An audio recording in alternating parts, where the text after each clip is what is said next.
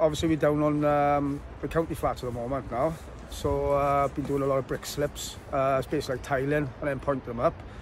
Uh, previous to that, mind, uh, I was on the site in Margam where I was doing uh, lead trays and doing gable ends, etc.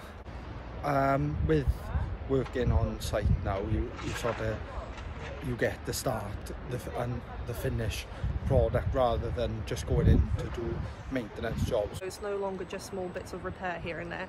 Um, now we're on construction side doing major fixings like first fix work and things like that.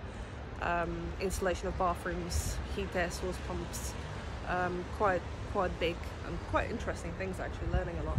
Yeah, I think that apprenticeship's a really good route to go down because you get to learn while on the job. Building things up from the ground really um, helps you understand how to rectify those issues in, in the first place. Apprenticeship in general is going well. 18 months into it now and um, not, well, not much more to push now. So and hopefully and uh, be done and dusted. I think it's been a really good experience for me and I feel like it's definitely improved uh, my understanding of carpentry.